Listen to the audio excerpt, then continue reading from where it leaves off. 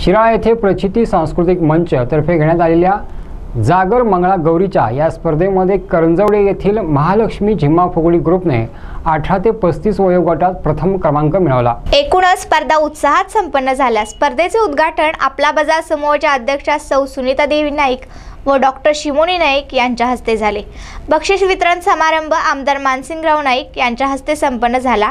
कार्यक्रमास नगराध्यक्ष सुनीता निकम नम्रता नाईक नगरसेवक अर्चना शेटे प्रतिभा पवार सुजाता इंगवले वैशाली कदम अर्चना कदम वंदना यादव कल्पना या- गायकवाड डॉक्टर मीनाक्षी पाटील स्मिता महिंद डॉक्टर मनीषा यादव कमल पाटील निलोफर डांगे अणुसया माने वैशाली भुयेकर शुभांगी देसाई रुपाली कदम प्रचिती मंचाचे अध्यक्ष डी एन मिरजकर साहित्य परिषदेचे अध्यक्ष आर बी शिंदे खजिनदार दस्तगीर अत्तार आदी उपस्थित होते. सूत्रसंचालन सचिव एस एम पाटील यांनी केले. राजाभाऊ कदम सदानंद बोंगाणे व सूरज चौगुले यांनी परीक्षण केले. महिला राष्ट्रवादी काँग्रेसच्या तालुका अध्यक्ष साधना पाटील यांनी आभार मानले. कार्यक्रमास महिला मोठ्या संख्येने उपस्थित होत्या.